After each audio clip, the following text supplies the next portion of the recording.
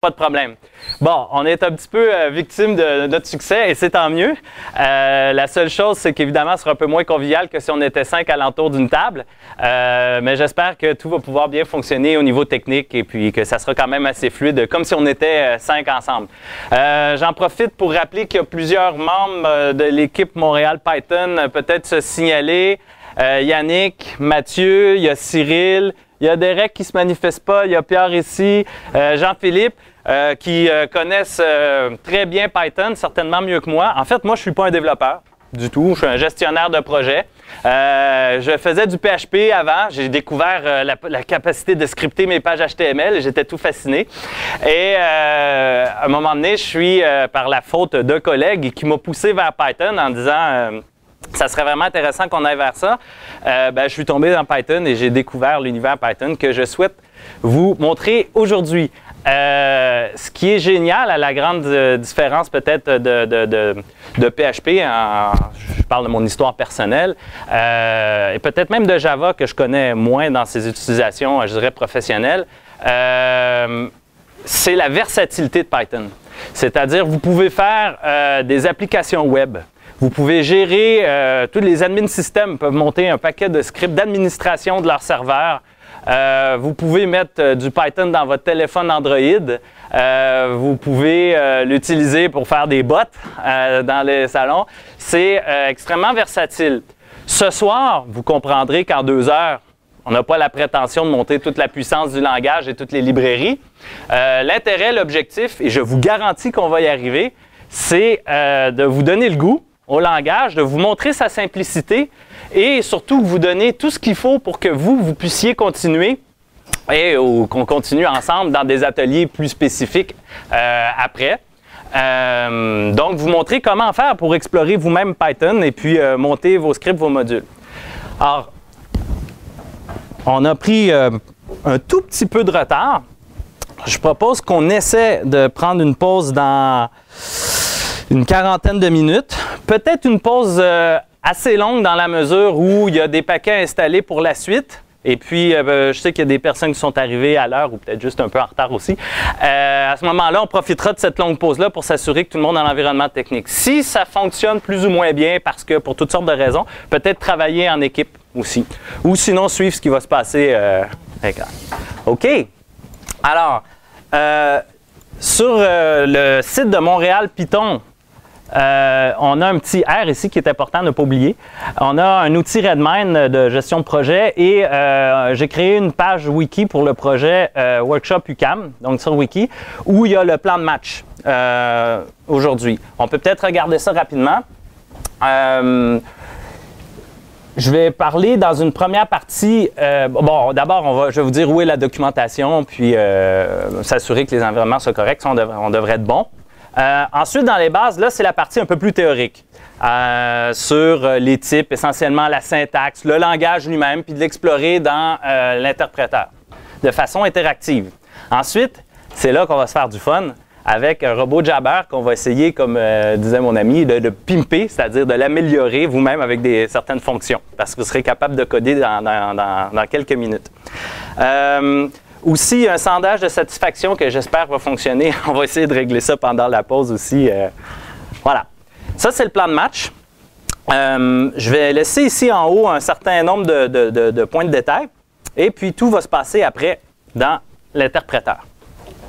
Alors, euh, oui, cet atelier-là, je l'ai présenté à des collègues dans le cadre d'une semaine tech qu'on a organisée. Je vous ai laissé l'URL ici juste pour vous dire que l'ensemble de, la formation ou de l'atelier a été présenté dans un atelier Jabber, justement, c'est-à-dire avec. Euh, j'écrivais ligne par ligne. Fait que, une chance, j'avais préparé mon texte, je faisais du copier-coller. Euh, mais vous, pouvez voir toutes les archives de discussion. Donc, s'il y a des bouts après que vous voulez revoir, parce que là, ça sera nettement plus oral, euh, finalement, que, que, que écrit. Alors, les objectifs. Aujourd'hui, on va coder dans l'interpréteur. Et on va explorer donc avec ça les bases du langage Python. Mais ce qui est un peu embêtant à coder dans l'interpréteur, c'est que, bon, c'est sûr, on pourrait sauvegarder notre session, sauf qu'à un moment donné, euh, ce c'est pas intuitif. On veut faire des scripts. Donc, on va voir comment faire un script Python. C'est vraiment pas compliqué. Et on va l'exécuter, on va faire exécuter par l'interpréteur. Ensuite de ça, ici, je ne l'ai pas marqué dans les objectifs, mais je vous montrerai comment faire un module. D'ailleurs, le robot, ça sera un vrai module, un bot, qu'on va, qu'on va exécuter, étudier, puis modifier. Les documentations. Je ne sais pas si vous voyez bien par ailleurs. C'est euh, assez clair? Tout le monde, surtout au fond, vous voyez bien? Excellent.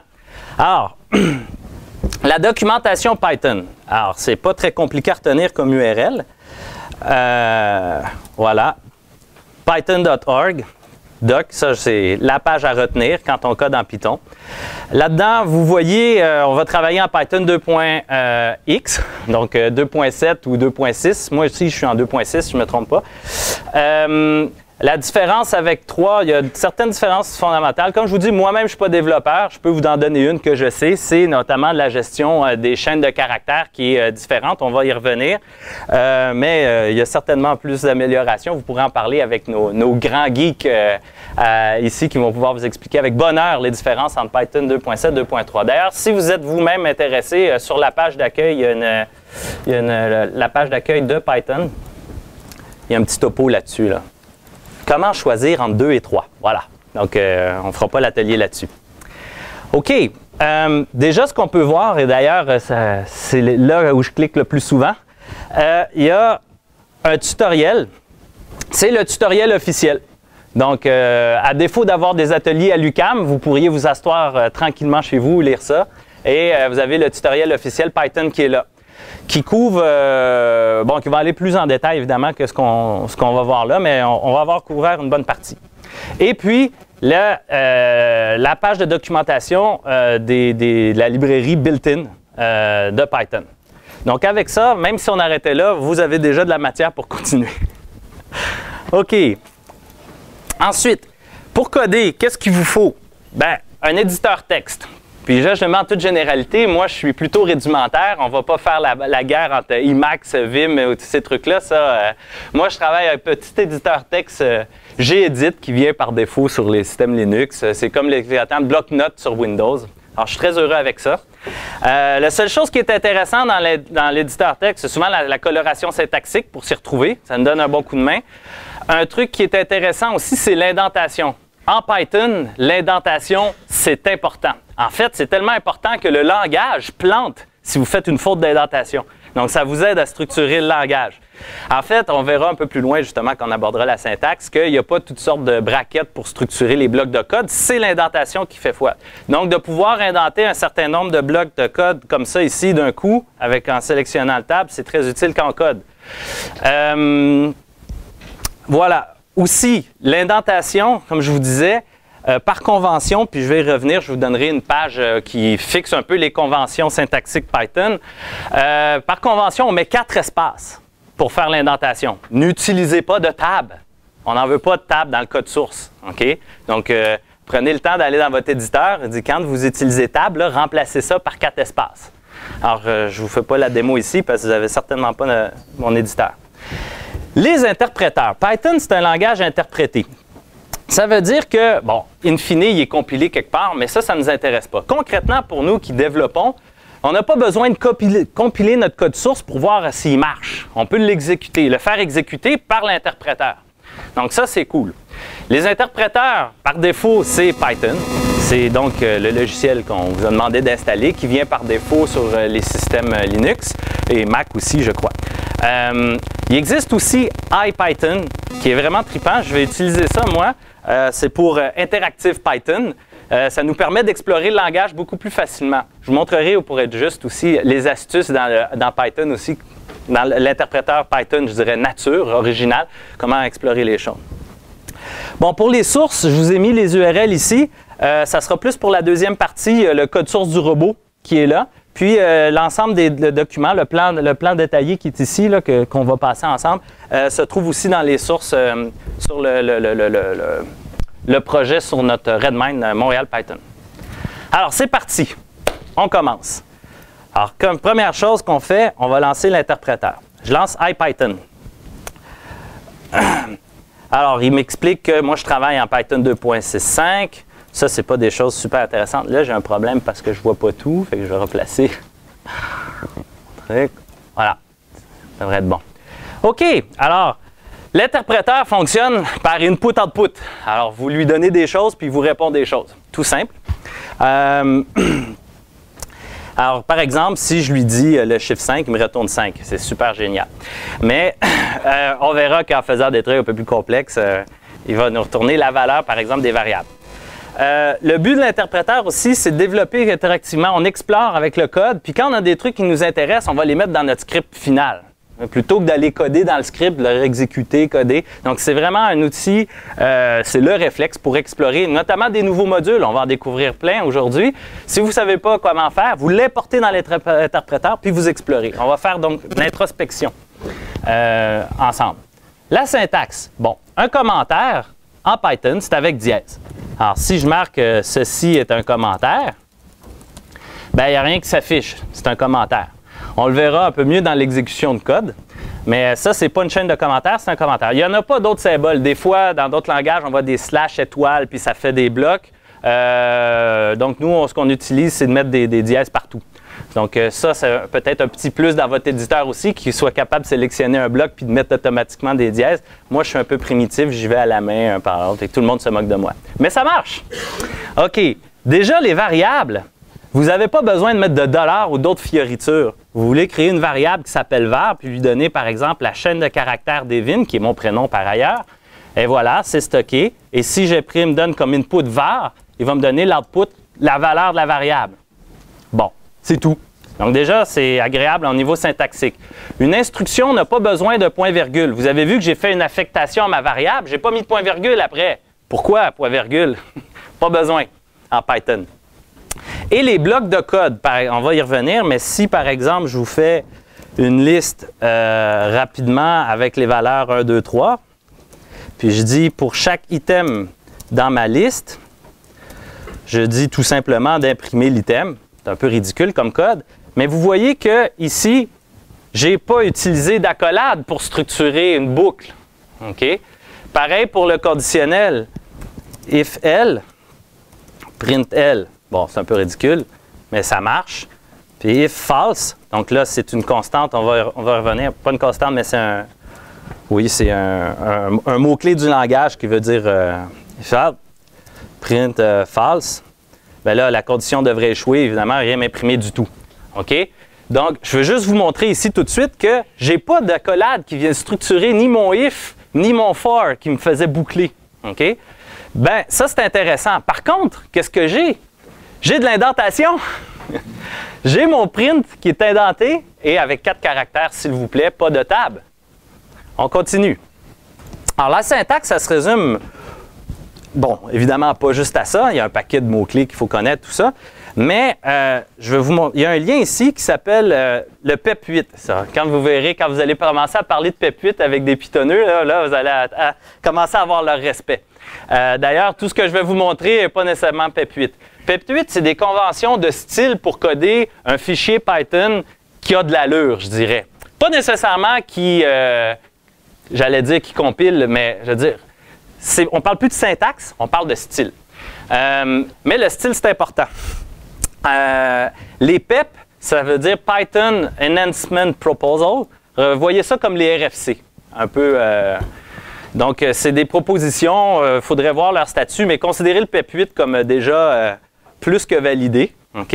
Je vous montre rapidement à quoi ressemble le PEP8, le fameux. Évidemment, c'est en anglais. Je m'en tiendrai pas rigueur. Et en gros, euh, comme euh, c'est ici le Style Guide for Python Code.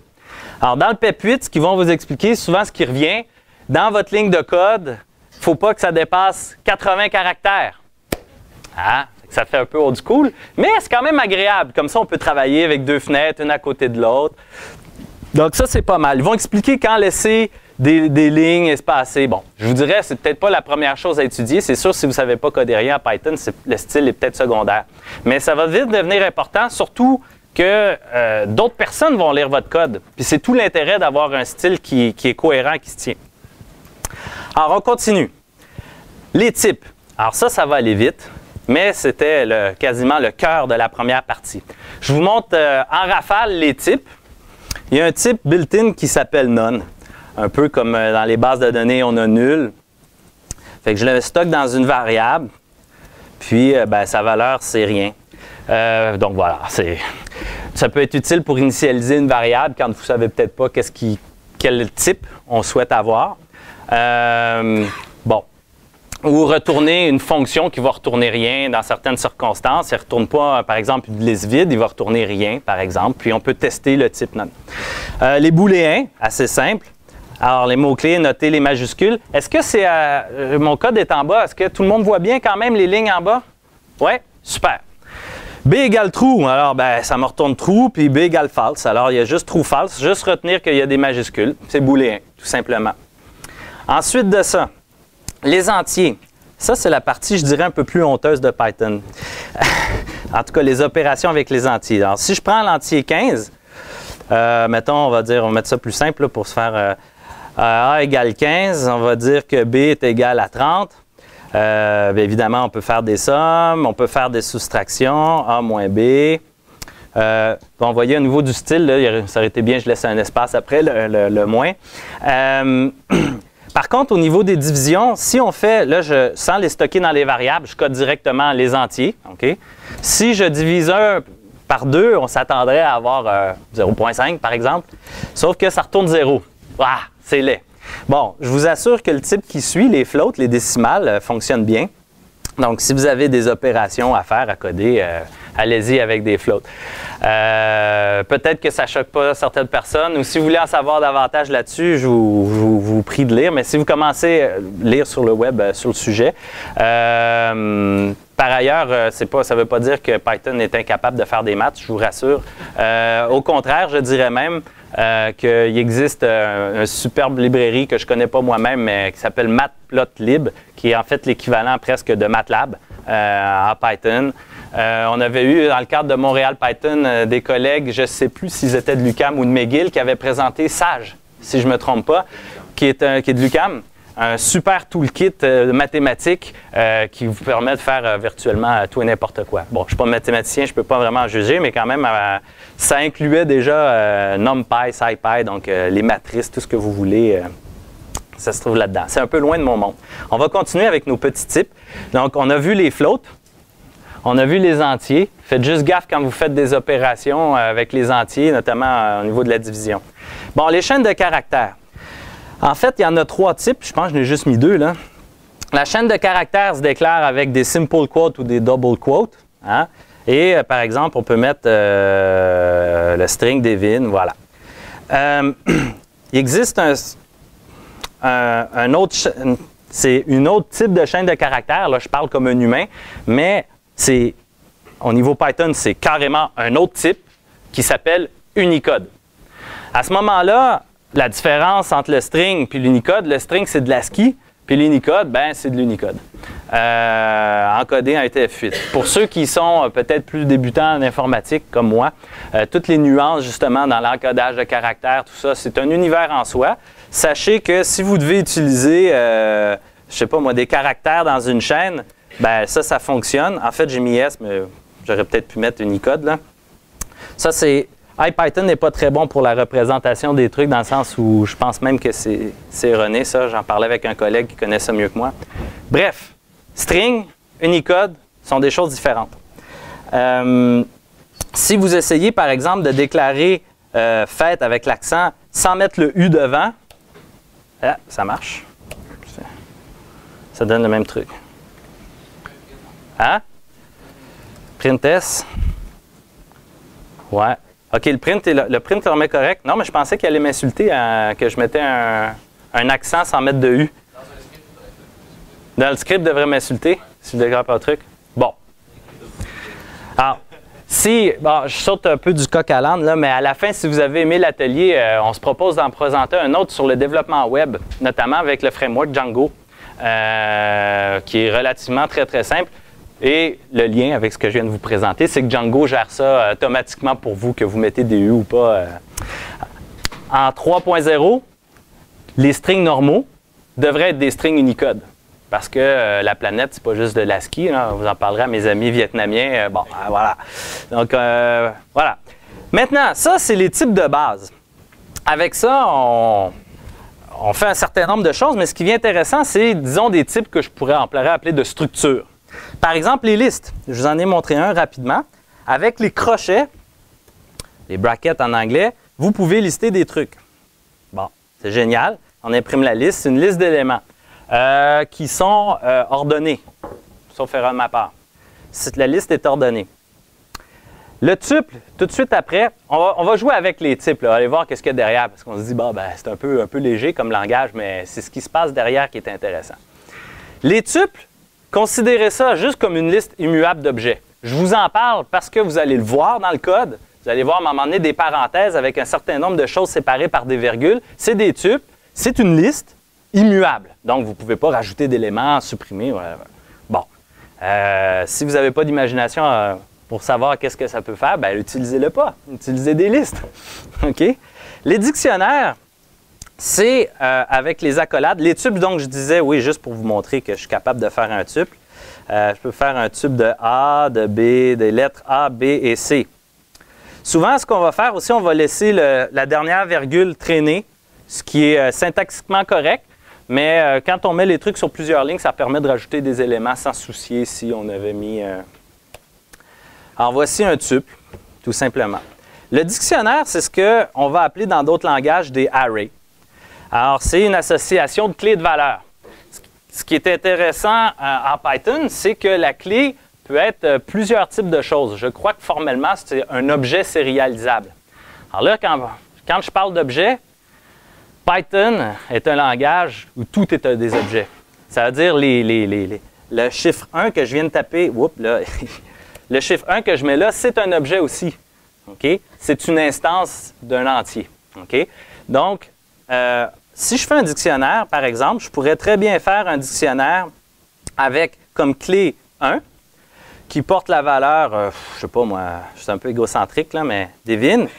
La clé, la clé B qui pourrait avoir mon nom de famille, tu sais, rester dans le même. Euh, OK. Et je pourrais avoir à ce moment-là une liste, ça ne marche pas parce que c'est. Euh, ça ne marche pas. Mais bon, ce que je vais vous montrer déjà, avec un entier puis un string, ça fonctionne.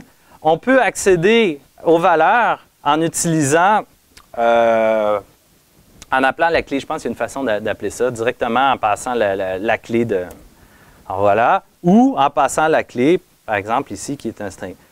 Évidemment, si vous aviez une variable, par exemple, C est égal à B, ma variable C, je peux passer une variable C, qui va me retourner le truc. OK? Euh, tous ceux qui sont à l'aise un peu en programmation vont voir que c'est des choses assez simples, euh, mais syntaxiquement, c'est intéressant. Alors, je suis euh, toujours mon plan de match. Je continue. Je veux vous parler un peu des objets des namespaces comme prélude à l'introspection. Alors, euh, je, ne prends pas pour acquis que tout le monde connaît l'orienté objet, donc je vais présenter rapidement quelques notions d'orienté objet. Ça va être très rapide. Vous m'excuserez, il y a peut-être des cours de 45 heures là-dessus. Vous allez dire, ouais, on oublie des grands bouts, mais on va y aller rapidement. Alors, l'orienté objet. Supposons que vous avez dans un monde, le monde dans lequel on vit, un certain nombre de personnes on va mettre un Devin quand même là-dedans. Alors, j'ai Devin, j'ai mon ami Mathieu, puis j'ai mon copain Cyril aussi. Donc, on est les trois là. On est trois individus qui existent pour vrai. Sauf que on peut répondre en quelque part à une certaine définition de personne. Donc, on peut inventer une espèce de notion qu'on va appeler des personnes. Vous pouvez voir ça comme des personnes, et ça, c'est l'idée philosophique même, de personnes. Donc là, ici, la notion de personne, ça ici, c'est des personnes. Ce qu'on va appeler au niveau informatique, tout simplement, on va appeler ça ici des instances de la classe personne. OK? Et on va appeler ça aussi des objets. Souvent, on va appeler ça des objets. Mais la classe va être aussi un objet. Mais là, on rentre dans des trucs où, oh, attention, comment c'est possible que. Mais c'est parce qu'elle va être l'objet d'une classe, classe, par exemple, qui est un peu plus encore abstraite au-dessus. Ce qui est important de savoir, c'est que ça, c'est différent de ça. L'idée, la définition de personne est différente des personnes physiques réelles qui existent. Ceci dit, un coup qu'on est d'accord sur le fait qu'il y a des personnes et la notion de personne, on va pouvoir commencer à coder ce genre de choses-là. On va pouvoir créer une classe personne Et là, on pourrait se dire, je peux faire euh, de la pseudo-modélisation. Là, on va, on va dire, c'est drôle, hein? toutes les personnes, ils vont avoir un nom, puis vont avoir un prénom. Ça, c'est du pseudo-UML, parce qu'on s'en fout un peu de la convention. L'idée, c'est de se comprendre. Là, on va se dire, ouais, c'est génial, c'est vrai que toutes les personnes ont des noms, des prénoms. Ça, on va appeler ça des attributs. Des attributs, des objets ou de la classe, dépendamment si je parle le fait du nom en général ou du nom de quelqu'un. Mais plus que ça, on pourrait dire, par exemple, si on continue à modéliser pour le plaisir, on a d'autres choses à faire, là, mais on, par exemple, va dire Ah, c'est intéressant, j'ai la date de naissance. Je vais marquer juste DDN. J'ai la date de naissance de quelqu'un. Peut-être dans une application, vous seriez intéressé à avoir l'âge de quelqu'un. Par exemple, il peut accéder à des sites euh, quelconques dépendamment de son âge.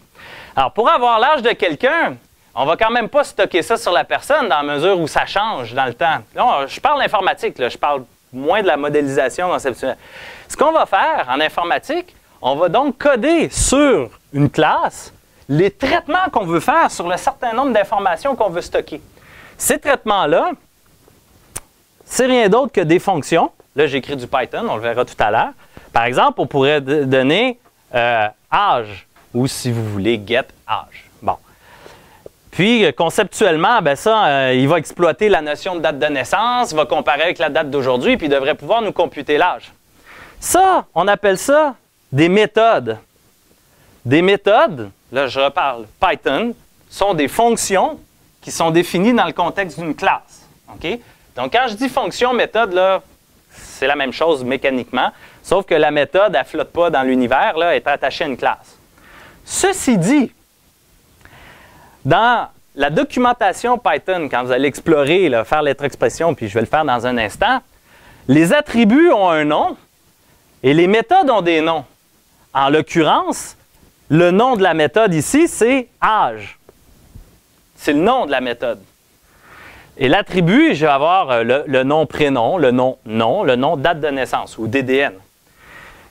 Ce qui est le petit truc, c'est que si on veut exécuter à un moment donné les méthodes, il ne faut pas oublier de mettre les parenthèses dans l'exécution. Et là, ce qu'on va faire, je vais vous montrer, on peut s'amuser à coder ça pour le fun. Je fais, oups, je ne suis pas dans le bon endroit je peux m'amuser à coder tout de suite une classe personne. OK? Comme ça. Ou, euh, ouais. Ou je vais définir, par exemple, euh, je pense que je, vais les mettre ça direct comme ça. Prénom est égal à, mettons que c'est un string vide. Alors, euh, non, ça va être un string vide. Il me semble que c'est légal, ça. Généralement, on, on code ça dans d'autres contextes. Là, je vais un peu tout nu. Puis là, je vais dire que j'ai une date de naissance qui va être je le mets un string, mais généralement, on mettrait un type un peu plus évolué, comme une date, à tout hasard. Et là, je vais définir ici ma fonction, ma méthode âge, qui va me retourner, euh, qui va me retourner rien du tout. Juste pour avoir une structure. Ça devrait être syntaxiquement correct. Parfait. Alors, je peux créer une variable que j'appelle Devin, qui va, qui va être une instance de personne. Je vais rapidement, mais c'est des choses qu'on voit dans d'autres langages. Pas besoin de new. Hein, qu'on voit dans d'autres langages, c'est très clair. La classe ici est accessible dans mon interpréteur parce que viens juste de la déclarer avant, fait que je peux l'utiliser. C'est normal. Alors, je crée une variable qui devine. Puis, on peut aller voir maintenant, et là, s'il vous plaît, prenez un petit moment pour apprécier toute la puissance de l'introspection. En tout cas, au moins dans IPython, on verra qu'est-ce qu'on peut faire avec euh, Python tout à l'heure. Je fais un point ici, et je fais table, et je vois tous les noms qui sont accessibles dans le contexte de Devin. Quand je dis nom, c'est soit des noms d'attributs, soit des noms de méthodes. C'est pour ça que je vous faisais un peu mon petit blabla. Là, on voit que j'ai devin.age. Cool. Alors, si je fais devin.age, je peux même mettre un petit point d'interrogation derrière pour aller voir de quoi on parle avec devin.age. Et là, on sort la documentation de la méthode. Ce qui est génial, c'est qu'avec ces deux petites approches-là, le point, vous pouvez voir tous les noms derrière, donc tous les, attributs et les méthodes d'un objet. Et comme je vous dis, tout est objet. Vous pouvez tout explorer dans votre interpréteur. Et avec ça, en mettant le point d'interrogation, vous pouvez appeler la documentation